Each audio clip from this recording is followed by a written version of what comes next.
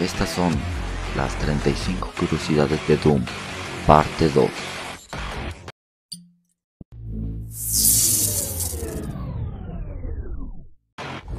Cronos es uno de los antagonistas de Doom RPG.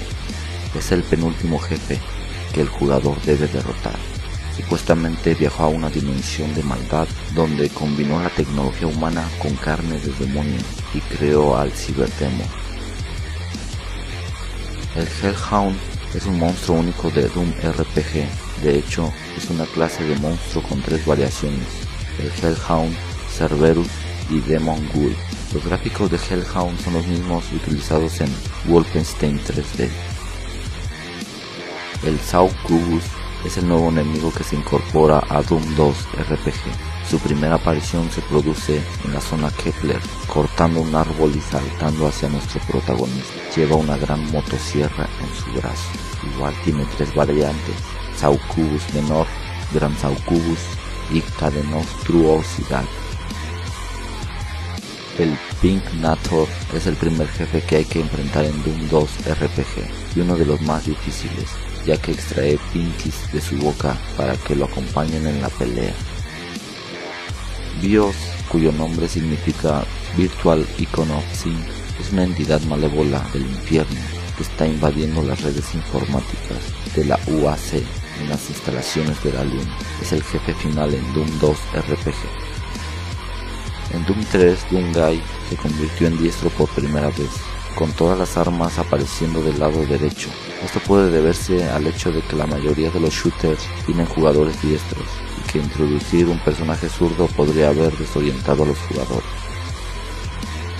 En los principios de los 90, Bill Gates salió en un vídeo promocional preparado para un evento para desarrolladores. Después de unos minutos, Bill Gates sale detrás de la pantalla con una escopeta. No sé si eso es raro o excéntrico.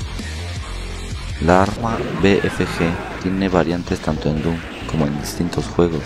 Esa arma grande de metal sólida que dispara grandes bolas de plasma de color verde.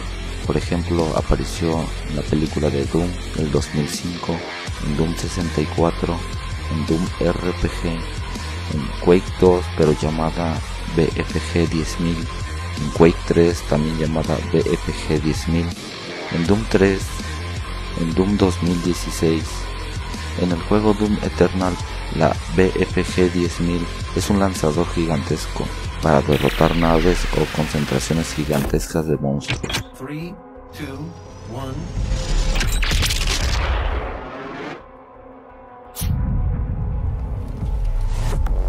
Como bonus, también en Rage 1 hay un arma llamada Pulse Cannon, es un derivado de la BFG, tiene un diseño similar a una ametralladora. En Doom 2 RPG hay tres personajes elegibles, uno llamado Stan Blaskovich, la mayor Kira Morgan, la cual es una comandante del equipo, y un científico llamado Riley O'Connor. Los tres personajes tienen atributos diferentes uno de los otros.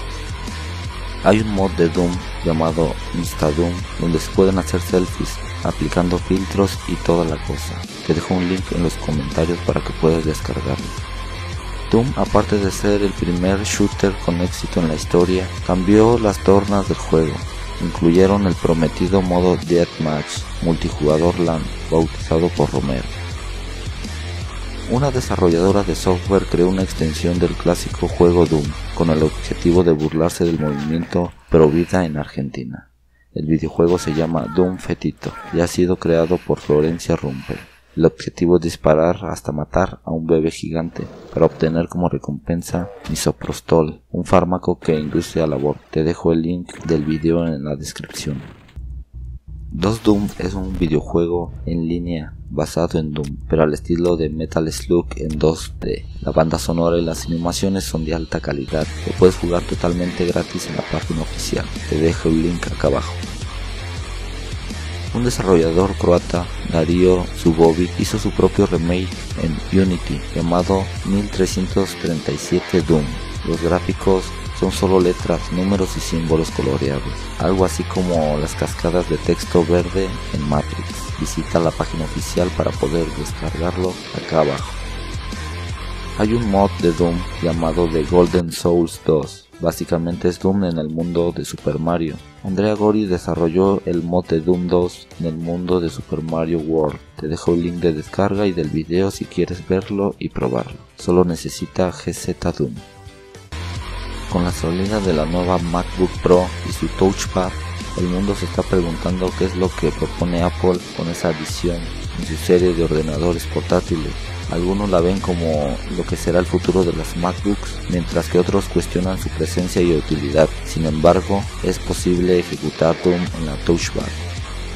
En el mapa de Doom 1 del episodio 3, mapa 2 tiene forma de mano. La verdad, eso es tener creatividad o falta de creatividad.